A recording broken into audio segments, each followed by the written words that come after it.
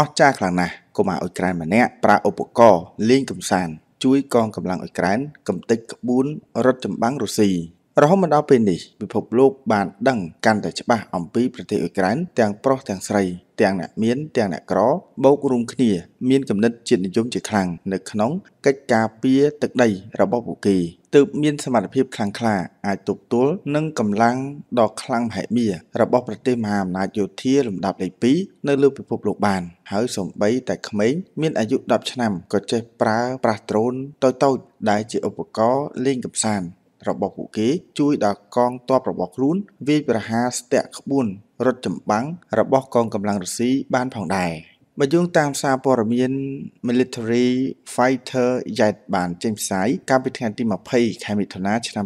2022ថាកុមារអ៊ុយក្រែនម្នាក់ឈ្មោះថា Andriy Pokrasa ត្រូវបានប្រជាពលរដ្ឋនៅក្នុងប្រទេសអ៊ុយក្រែនកោតសរសើរថាជាវីរបុរសក្រោយពេលកុមាររូបនេះបានជួយដល់កងទ័ព ក្រុងគីវកំទេចរថចម្បាំងរបស់កងទ័ពរុស្ស៊ីកុមារអាយុ15ឆ្នាំរូបនេះបានប្រើប្រាស់ទ្រូនរបស់គេតាមដានក្បួនចម្បាំងរបស់រុស្ស៊ីធ្វើដំណើរឆ្ពោះទៅរដ្ឋធានីគីវប្រទេសអ៊ុយក្រែនបន្ទាប់មកគេបានផ្ដល់រូបភាពនិងកូអរដាណេទីតាំងរថចម្បាំងរបស់រុស្ស៊ីទាំងនោះទៅឲ្យកងទ័ពអ៊ុយក្រែនដើម្បីវាយប្រហារ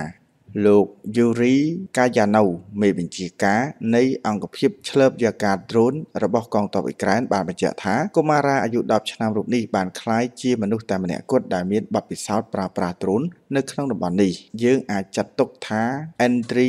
ផូក្រាសាជាវីរៈវីរោះពិតមែនហើយគេជាវីរៈបរោះរបស់អ៊ុយក្រែន ចំណែកកងកម្លាំងការពារស៊ីវិលតែងតែទៅរកកុមាររូបនេះហើយទទួលបានកូអរដាណេពិតប្រាកដនៃក្បួនចម្បាំងរបស់រុស្ស៊ីកុមារា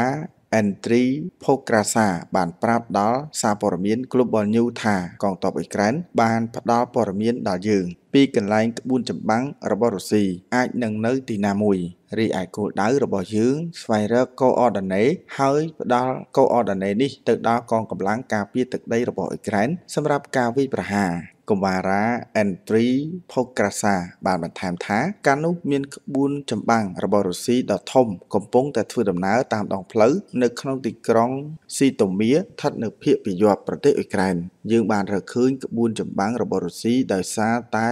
មានរថយន្តយោធាមួយគ្រឿងបើកភ្លើង នៅក្នុងរយៈពេលយូរបន្ទាប់មកខ្ញុំក៏បានផ្ដល់កូអរដាណេនិងរូបភាពទៅកាន់កម្លាំងការពារទឹកដីអ៊ុយក្រែនហើយភ្លាមៗនោះកងទ័ពអ៊ុយក្រែនក៏បានកំណត់គោលដៅវាយប្រហារតែម្ដង បាទចំពោះអត្ថបទព័ត៌មាននេះសូមបញ្ចប់តែប៉ុណ្ណេះជួបគ្នានៅវីដេអូក្រោយៗទៀតសូមអរគុណសូមគោរពលា